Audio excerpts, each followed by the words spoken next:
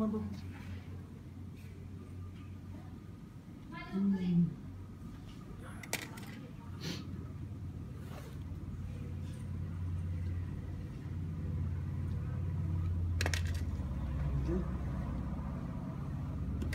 Filmler çekiyor. Yarım saat oldu.